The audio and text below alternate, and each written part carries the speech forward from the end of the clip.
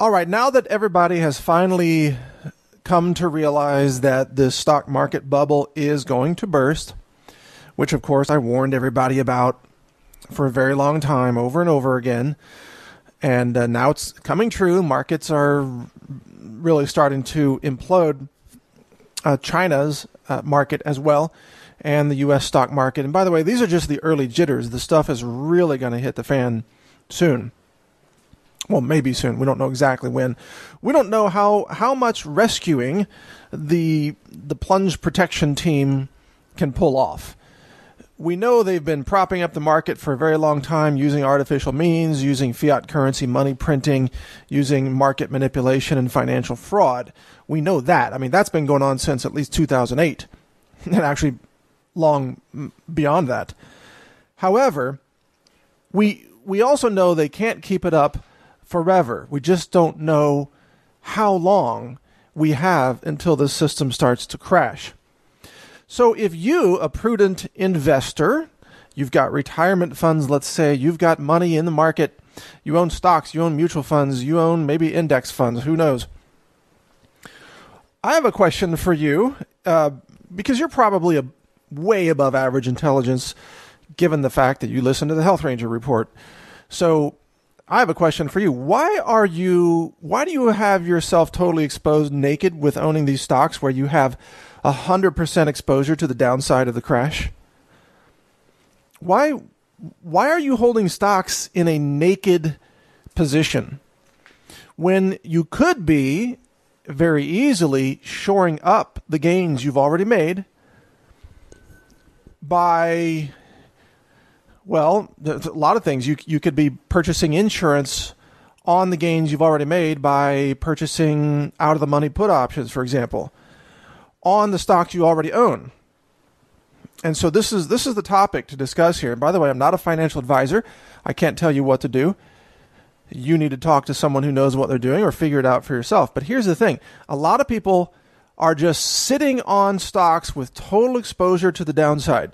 So they're going to lose every every dollar the stock goes down, they're going to lose a dollar.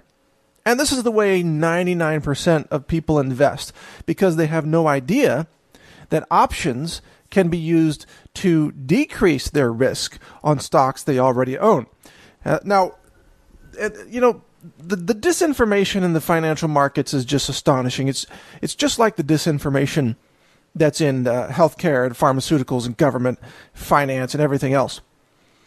Most people have been fraudulent, fraudulently told that options are risky. Well, that's ridiculous. Options are only risky if you use them in a high risk format. Options can actually decrease your risk substantially and they can make your investments more conservative rather than more risky. And if you think about it, why were option markets created in the first place? To reduce risk for people like farmers who know they're going to produce, let's say, 10,000 bushels of soybeans or a million uh, next year but they don't know about the price variability in soybeans between now and next year. So by purchasing the correct combination of options, puts or calls, longs and shorts of the puts and calls, they can effectively spend a little money to ensure the price that they're going to get from the soybeans that they're planting today but won't be harvested until next year. So by using options on crops that they're growing, farmers are able to reduce their risk, reduce their volatility of return, and then effectively engage in more certain financial planning for the future, knowing in advance that they're going to get X number of dollars per bushel of soybeans that they produce, almost regardless of the market price that actually exists at the time. So when options are used in conjunction with things that you're producing or with other assets that you already hold, such as stocks, options can be used to dramatically decrease risk rather than increasing risk. And this is why I'm always shocked when I run into people who own a bunch of stocks and they have no options in place to ensure the gains that they've already made on those stocks. Now, if you have a stockbroker or a financial analyst or an investment analyst, that person might be great, but I got to tell you, from my experience and opinion, probably 95% of so called financial analysts and investment brokers are totally clueless and completely full of BS. They have no idea what they're doing. All they have is a buy and hold type of attitude. They think diversity means holding different stocks all on the the long side of the stocks with total exposure on the downside. They have no idea what is real risk. They they're not old enough to, to even know about to, to have experienced a stock market crash. They don't, don't they don't understand the risk of having all your uh, all your assets in the same currency denomination, such as the dollar, or the same economy, such as the U.S. economy, and so on and so forth. These people, I, I know there are exceptions. There are some brilliant, brilliant people out there. They're rare. I, I have great admiration for those exceptions, but most of the financial advice makers out there are complete idiots, which is why they lose money for most of the people that they're whose money they're managing. And most of these people do not understand how options work.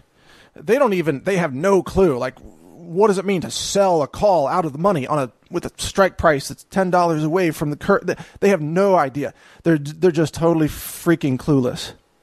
It's just too much math for these people.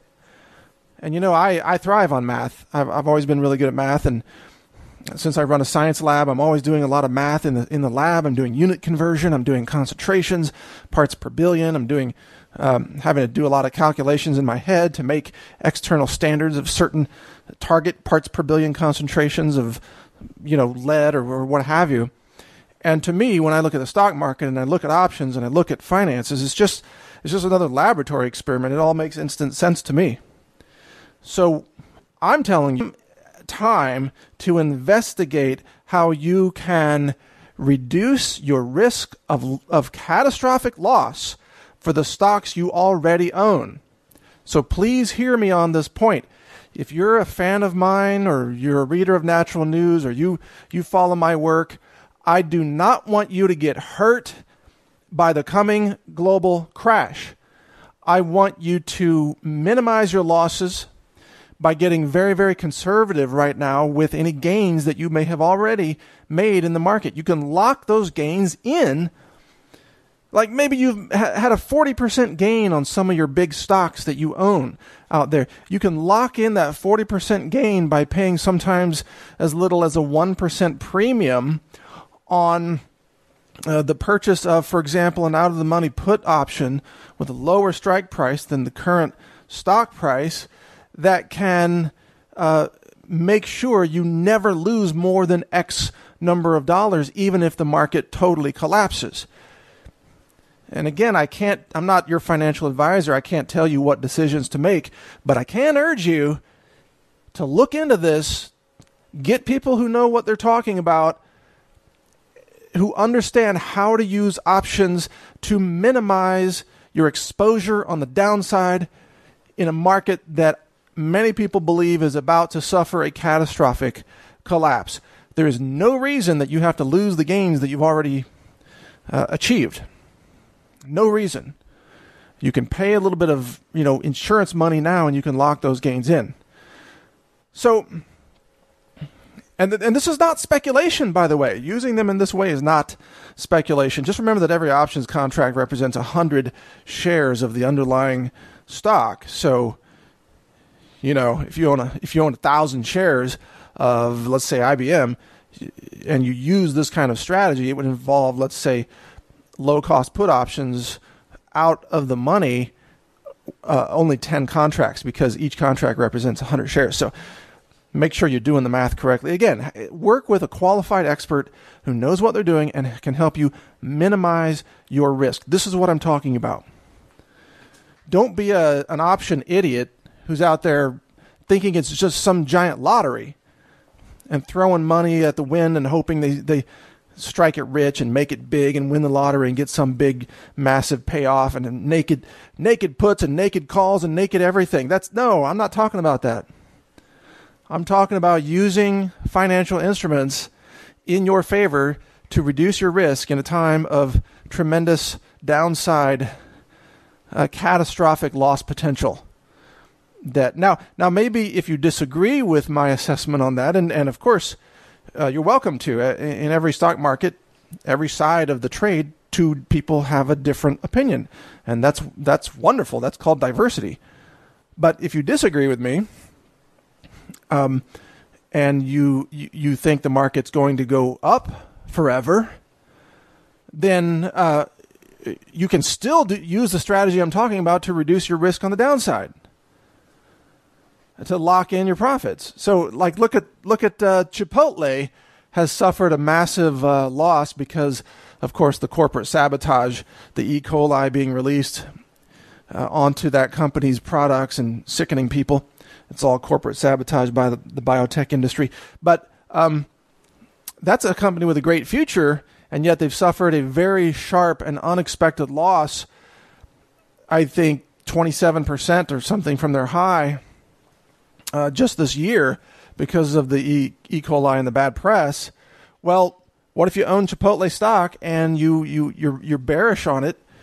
Um, I'm I'm sorry, you're you're bullish on it. You think it's going to do well in the long haul, but you still recognize there's some downside risk.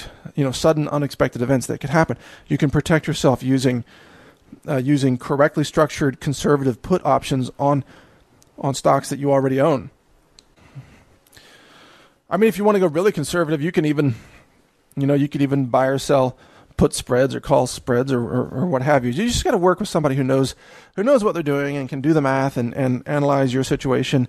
You just tell them, look, I want to minimize my risk and lock in my profits as much as possible, so that when the stock market tanks, that I'm not gonna I'm not gonna lose you know 50 percent of the value in, in my account. All right, so so just want to encourage you, be smart about this. Thanks for listening. I hope you find this valuable. Again, my disclaimer is I'm not your financial advisor. Do your own homework and investigations and work with a qualified person who can hold your hands on this if you don't if you don't recognize the things I'm talking about here. Make sure you work with somebody who does know what they're doing. Otherwise, you're just going to lose a lot of money using using option strategies. If if structured correctly, they can minimize risk and protect your gains. Thanks for listening. This is Mike Adams, the Health Ranger, healthrangerreport.com.